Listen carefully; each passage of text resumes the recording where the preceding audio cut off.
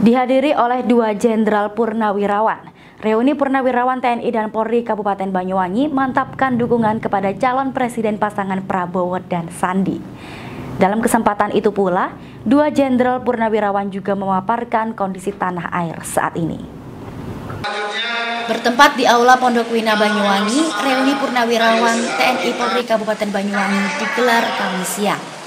Dalam kegiatan tersebut, diundang hadirkan Mejen TNI Suwarno, mantan Pangdam 5 Brawijaya tahun 2010 yang juga menjadi ketua tim pemenangan Cawapres Prabowo Sandi Provinsi Jawa Timur. Dalam kesempatan tersebut, mantan Jenderal Bintang 2 TNI Angkatan Darat tersebut berpesan kepada purnawirawan TNI dan Polri serta seluruh masyarakat Banyuwangi agar memilih pemimpin yang tahu persis hal-hal yang dapat membahayakan negara. Mayor Jenderal TNI Suwarno menambahkan, di mana informasi terkait perkembangan bangsa saat ini saat memprihatinkan. Hal tersebut dapat dikaitkan dengan sikap negara asing yang ingin mengambil kekayaan bangsa Indonesia dengan berbagai cara seperti piutang dan kebijakan.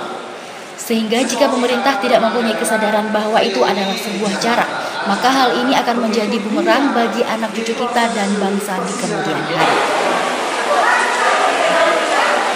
Baik itu kaitannya dengan bagaimana sikap negara-negara asing yang ingin mengambil sumber daya alam Indonesia, kekayaan Indonesia pada waktu yang akan datang, apabila nanti pemerintah kita tidak mempunyai kesadaran yang cukup bahwa itu merupakan satu ancaman. Oleh sebab itu, ke depan kita harus berupaya untuk bisa memilih pemimpin yang nanti tahu persis bagaimana hal-hal yang membahayakan bangsa kita.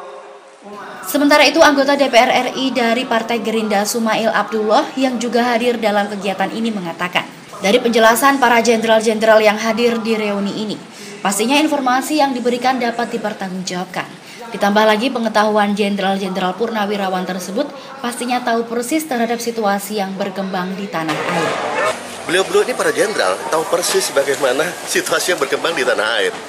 Tentunya ini tantangan yang besar bagi kita, teman-teman ya uh, agar kita apa namanya kembali kepada ideologi yang benar, ideologi Pancasila, keumatan tetap dijaga keakrabannya, ahli ulama tidak diadu domba ya. Terus kemudian uh, tenaga-tenaga kerja asing yang sudah membanjiri kita harus batasi. Negeri ini ya negeri ini yang yang terbentuk yang oleh apa founding fathers kita untuk kita sendiri untuk pribumi ya. Pribumi dalam pengertian siapa pun yang sudah pernah tinggal dan punya kecintaan terhadap negeri ini. Usai diberikan pemahaman perihal situasi dan kondisi bangsa Indonesia, seluruh purnawirawan TNI dan Polri yang hadir diajak bersama-sama untuk berjuang memilih pemimpin yang benar-benar mengerti bangsa ini agar bangsa lain tidak dapat mengambil kekayaan bangsa Indonesia. Tim Liputan Banyuwangi TV melaporkan.